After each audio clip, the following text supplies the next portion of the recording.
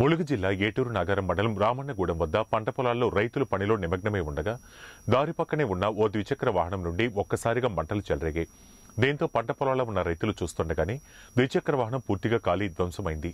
మంగంపేట మండలం తిమ్మంపేటకు చెందిన అంకిరెడ్డి రాంబాబు పంట పొలం పని నిమిత్తం బైక్ వేయ వెళ్తుండగా ఒక్కసారిగా వేడి ఎక్కువ అనిపించడంతో ద్విచక్ర వాహనాన్ని రహదారి పక్కన పెట్టడంతో ఒక్కసారిగా ఆ మోటార్ సైకిల్ నుండి మంటలు చెలరేగాయి. అందరూ చూస్తుండగానే వాహనం పూర్తిగా ధ్వంసమైపోయింది. బైక్ కాలిపోయిందన్న విషయం తెలుసుకున్న బాధితుడి భార్య షాక్కు గురైంది.